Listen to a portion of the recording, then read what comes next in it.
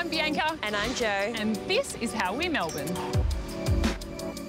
Jo, I want to take you to Kudo Gluten Free Bakery. It's my shout. Double espresso for me. Go hard or go home. Wow, that is pure Melbourne coffee. It's liquid gold. This one here is their specialty, the cannelé, and this is the little Lamington bear. Oh, he's so cute. The cutest little thing I've ever seen. I'm an animal lover, so I think you're gonna have to do. I think you're gonna have to do the damage. I mean, I just have to do it, don't I? Mm, sorry, but so good. My turn. I'm gonna show you somewhere now, Bianca. I'm intrigued. We're at the NGV, one of my favourite spots in Melbourne. This is incredible. Look Wow. at the colours. Yeah, I love it. I love the framing. You know what's missing? A lazy Susan in the middle. Of course. the things you do for the kids, hey? This is a temple of boom, beep. It's so family friendly, isn't it? I could bring my little girl along. Play hide and seek.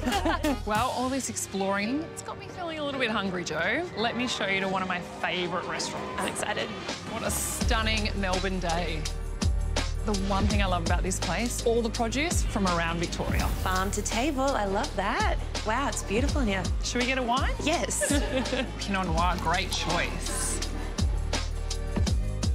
Whoa, this looks amazing. Okay. I think the best part about going out for dinner is sharing. Oh, definitely. I hope you agree, because that's what I want to do. Smells delicious. That's really good.